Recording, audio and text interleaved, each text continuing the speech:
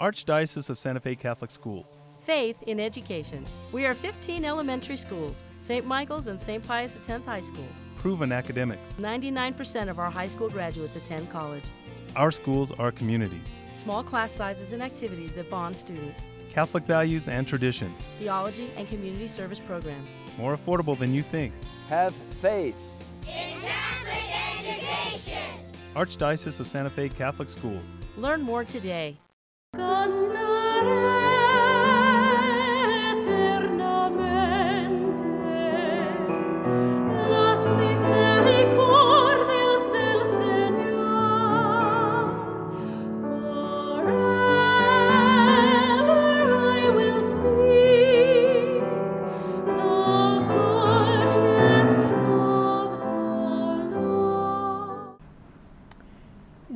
the Father, and of the Son, and of the Holy Spirit. Amen. The grace of our Lord Jesus Christ, and the love of God, and the communion of the Holy Spirit be with you all. And with your spirit. My dear sisters and brothers in Christ, to prepare ourselves to celebrate these sacred mysteries, let us call to mind our sin.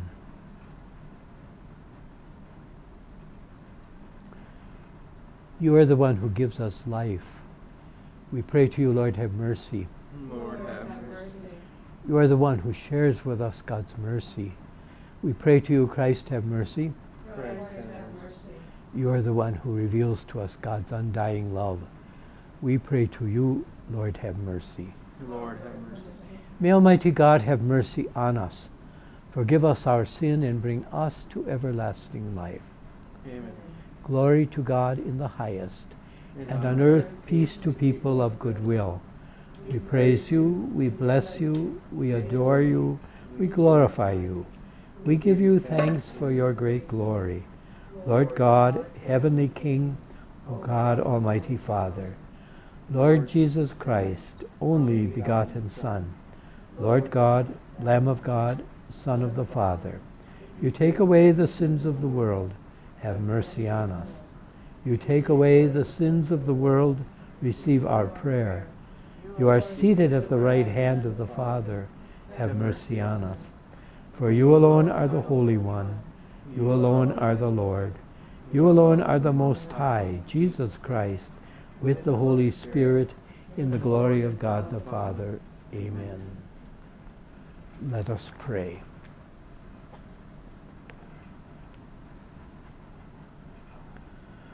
O God, who in the abasement of your Son has raised up a fallen world, fill your faithful with holy joy. For on those you have rescued from the slavery of sin, you bestow eternal gladness. We ask this through our Lord Jesus Christ, your Son, who lives and reigns with you in the unity of the Holy Spirit, one God forever and ever. Amen.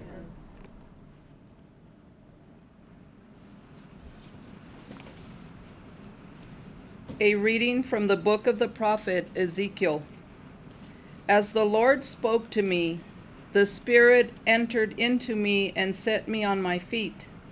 And I heard the one who was speaking to me say, Son of man, I am sending you to the Israelites, rebels who have rebelled against me. They and their ancestors have revolted against me to this very day hard of face and obstinate of heart are they to whom I am sending you.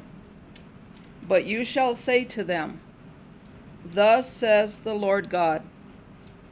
And whether they heed or resist, for they are a rebellious house, they shall know that a prophet has been among them. The word of the Lord. Thanks be to God.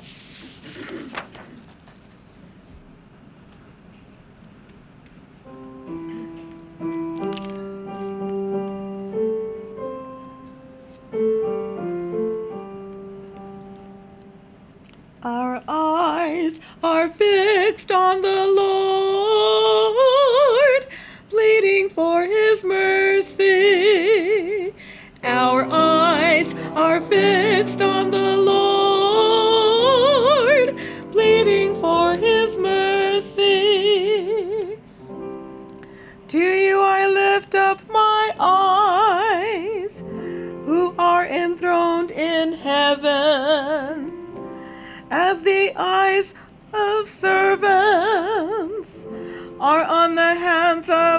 masters.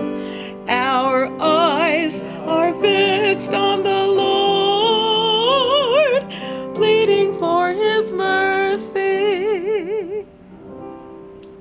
As the eyes of a maid are on the hands of her mistress, so are our eyes on the Lord pity on us. Our eyes are fixed on the Lord, pleading for his mercy.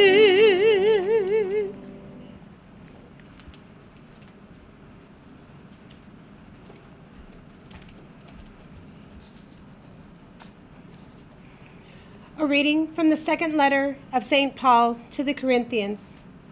Brothers and sisters, that I, Paul, might not become too elated because of the abundance of the revelations, a thorn in the flesh was given to me, an angel of Satan, to beat me, to keep me from being too elated.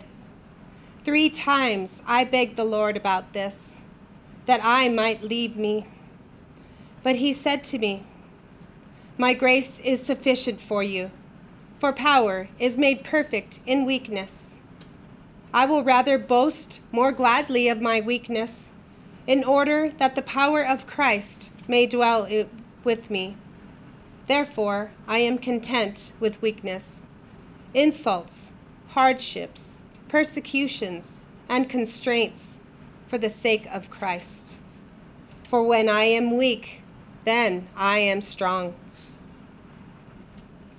The word of the Lord. Thanks, be to God.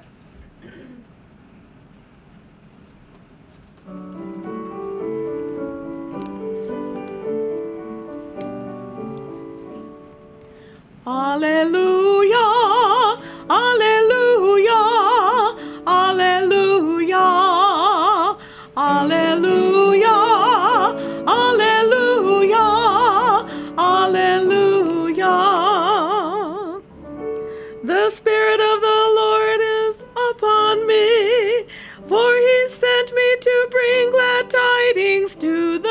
poor. Alleluia, Alleluia, Alleluia.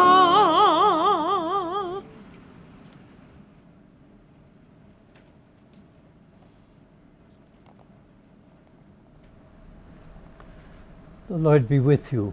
And with your spirit, A reading from the Holy Gospel according to Mark. glory to you, O Lord. Now Jesus departed from there and came to his native place, accompanied by his disciples. And when the Sabbath came, he began to teach in the synagogue. And many who heard him were astonished. They said, Where did this man get all of this?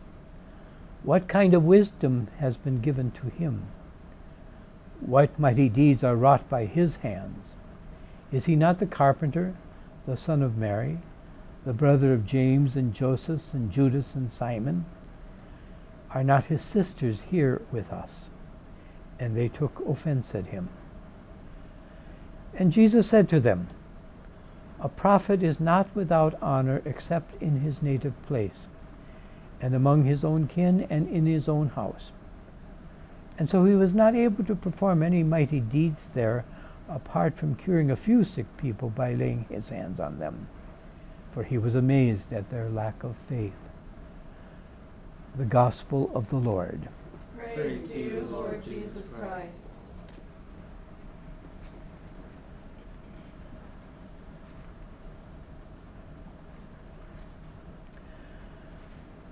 St. Mark tells us of an experience Jesus had again early in his ministry.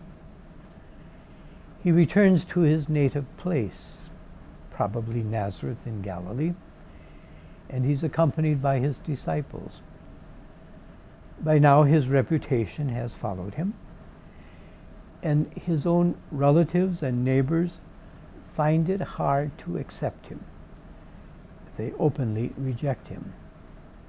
How can the one who is sent by God to bring salvation to the world be somebody we know so well? But the problem is that his friends and relatives and neighbors knew about Jesus. They did not know Jesus. Throughout all of the sacred scriptures, beginning at the very beginning book of Genesis, to know someone in sacred scripture is to love them, to know them as a person, and to accept them. And this knowledge was lacking to those who thought they knew Jesus well.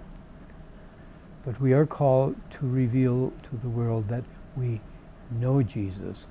We don't know just about him. I believe in one God, the Father Almighty, maker of heaven and earth, of all that is visible and invisible. I believe in one Lord Jesus Christ, the only begotten Son of God, born of the Father before all ages, God from God, light from light, true God from true God, begotten, not made, consubstantial with the Father, through him all things were made. For us men and for our salvation, he came down from heaven, and by the Holy Spirit was incarnate of the Virgin Mary, and became man. For our sake he was crucified under Pontius Pilate. He suffered death and was buried, and rose again on the third day in accordance with the Scriptures. He ascended into heaven and is seated at the right hand of the Father. He will come again in glory to judge the living and the dead, and his kingdom will have no end. I believe in the Holy Spirit, the Lord, the giver of life, who proceeds from the Father and the Son, who with the Father and the Son is adored and glorified, who has spoken through the prophets. I believe in one holy Catholic and Apostolic Church. I confess one baptism for the forgiveness of sins, and I look forward to the resurrection of the dead and the life of the world to come. Amen. Let us pray. Our eyes are fixed on the Lord, and so we call to mind our needs and we look to God for answer to our prayer.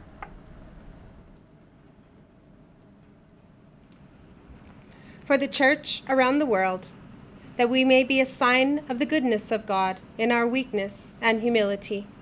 Let us pray to the Lord. Lord, hear our prayer. For leaders in this country and around the globe, that they may acknowledge their own iniquities and look for God for strength and wisdom. Let us pray to the Lord. Lord, hear our prayer. For prophets among us who witness to the grace of God and speak in the Lord's name, that they may be faithful to their calling and know the value of their work, even when they encounter resistance or rebellion. Let us pray to the Lord. Lord, hear our prayer.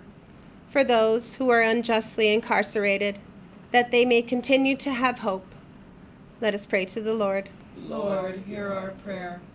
For the parish vocations committees, for our archdiocese, that they will grow in appreciation of the task entrusted to them, and that the seeds of awareness they plant will grow to maturity through prayer and care. We pray to the Lord. Lord, hear our prayer. Merciful God, we know that you listen to the needs of your children. May your grace be sufficient for us in response as we strive to build your kingdom through Jesus Christ our Lord. Amen.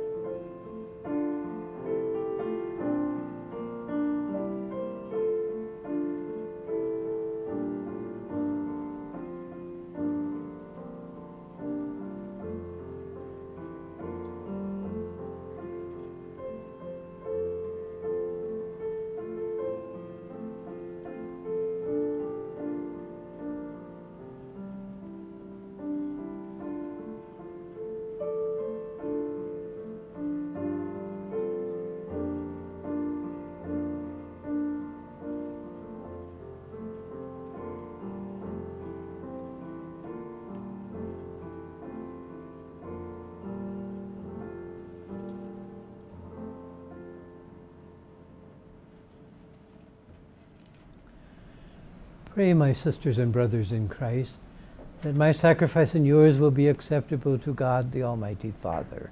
May the Lord accept the sacrifice at your hands for the praise and glory of his name, for our good and the good of all his holy church.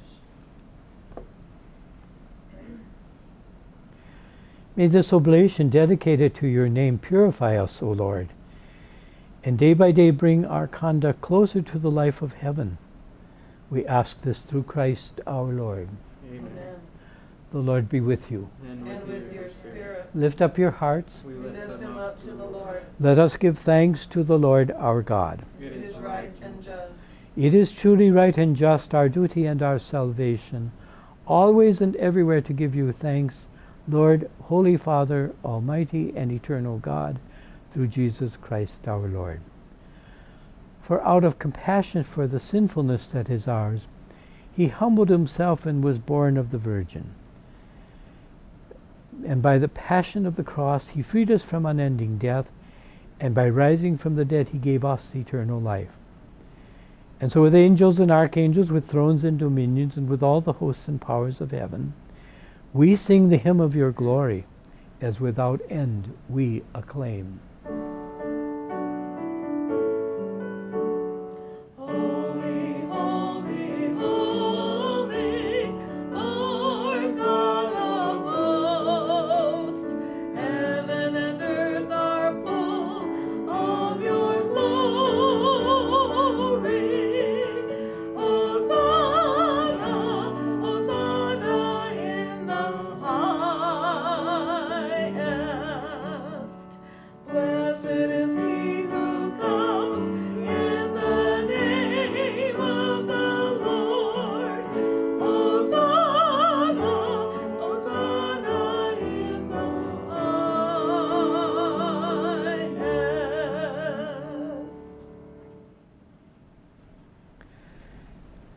Are indeed holy, O Lord, and all that you have created rightly gives you praise. For through your Son, our Lord Jesus Christ, and by the power and the working of the Holy Spirit, you give life to all things and you make them holy.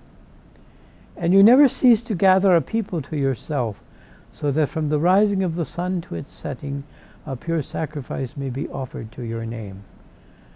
Therefore, O Lord, we humbly implore you, by the same Spirit graciously make holy these gifts that we have brought to you for consecration, that they may become for us the body and the blood of your Son, our Lord Jesus Christ, at whose command we celebrate this Eucharist.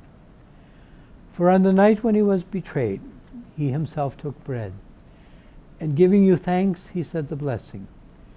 He broke the bread, gave it to his disciples, saying, Take this, all of you, and eat of it, for this is my body, which will be given up for you.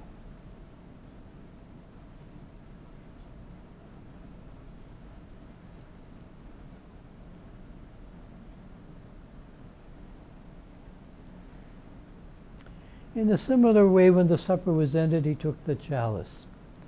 And giving you thanks, he said the blessing. He gave the chalice to his disciples, saying, Take this, all of you, and drink from it.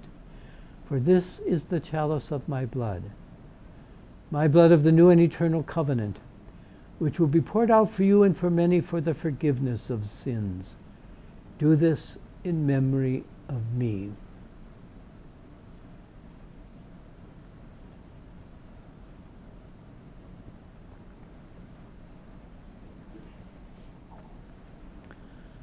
The mystery of faith.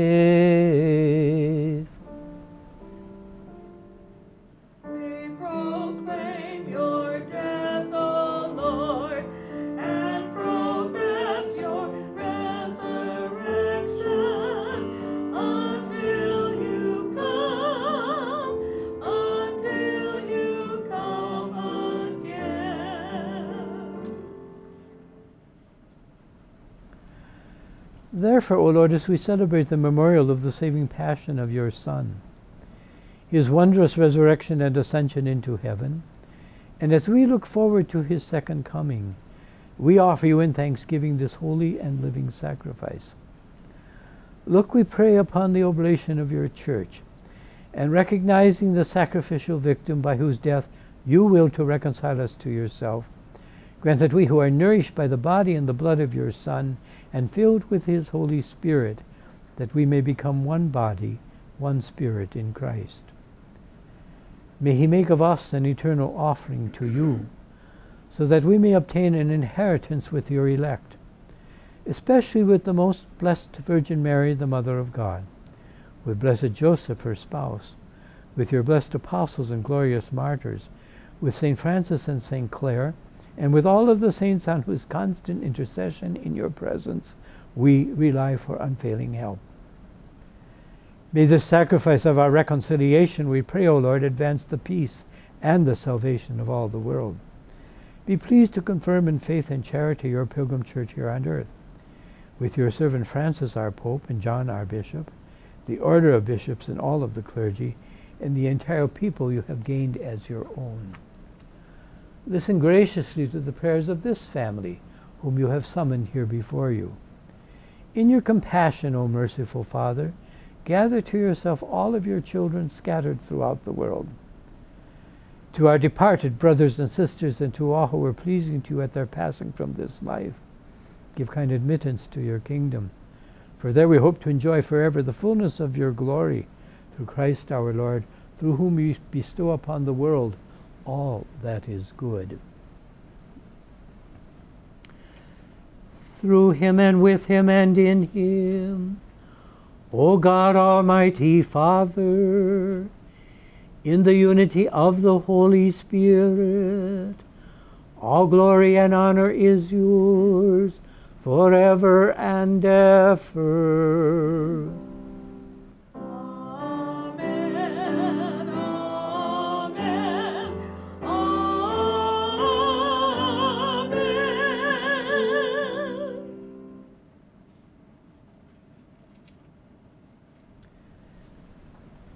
At the Savior's command, informed by his divine teaching, we dare to say, Our Father, who art in heaven, hallowed be thy name. Thy kingdom come, thy will be done, on earth as it is in heaven. Give us this day our daily bread, and forgive us our trespasses, as we forgive those who trespass against us. And lead us not into temptation, but deliver us from evil. Deliver us, Lord, we pray, from every evil. Graciously grant peace in our day, that by the help of your mercy we may be always free from sin and safe from all distress, as we await the blessed hope and the coming of our Savior, Jesus Christ. For the kingdom, the power, and the glory are yours now, and forever. Lord Jesus Christ, who said to your apostles, Peace I leave you, my peace I give you. Look not on our sins, but on the faith of your church, and graciously grant her peace and unity in accordance with your will, for you live and reign forever and ever. Amen. May the peace of the Lord be with you always. And with your spirit. Let us share that gift of peace now with one another.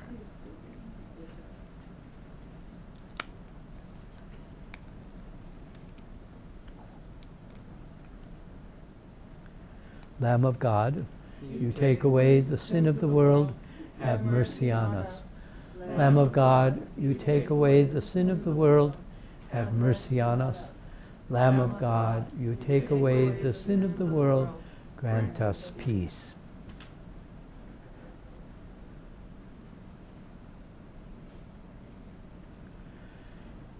Behold the Lamb of God. Behold him who takes away the sin of the world. How blessed are we who are called to the supper of the Lamb. Lord, I am not worthy that you should enter under my roof, but only say the word, and my soul shall be healed.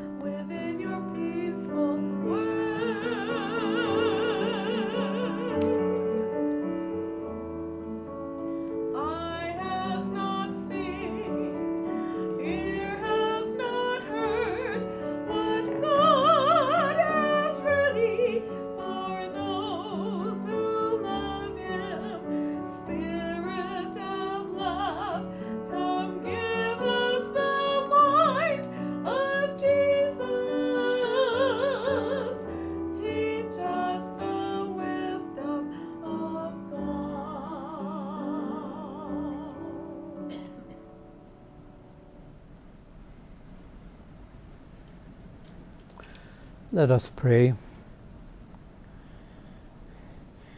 Grant, we pray, O Lord, that having been replenished by such great gifts, we may gain the prize of salvation and never cease to praise you. We ask this through Christ our Lord. Amen. The Lord be with you. And with your spirit. May Almighty God bless you, the Father, the Son, and the Holy Spirit. Amen. Our celebration is ended. Let us go in peace now to love and to serve the Lord. Thanks be to God.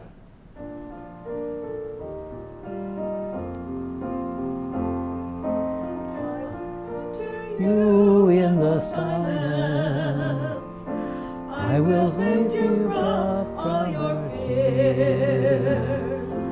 You will hear my voice. I claim you as my choice. Archdiocese of Santa Fe Catholic Schools. Faith in education. We are 15 elementary schools, St. Michael's and St. Pius X High School. Proven academics. 99% of our high school graduates attend college.